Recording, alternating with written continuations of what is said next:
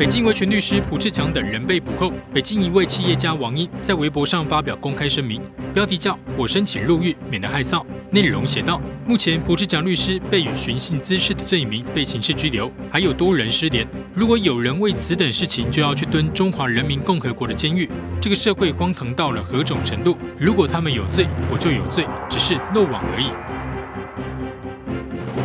被列为大陆百大房企，深圳房地产企业光耀地产被曝光资金债务危机。最近，光耀地产位于惠州的多个项目盘楼遭遇延期交付，资金链承压，甚至濒临倒闭。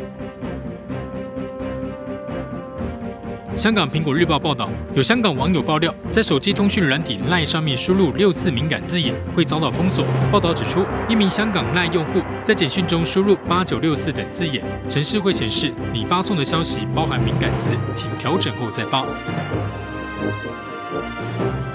武汉地铁四号线的亲嘴鱼站、岳家嘴站等多个地铁站，近来出现一幅九宫格图示，内有禁止抽烟、携带宠物、丢垃圾、随地便尿等。其中，禁止随地便尿的图示里，在疑似便尿的男子旁却印上一把剪刀，引发不少讨论。有网友问：这是指禁止便尿，违者剪掉的意思吗？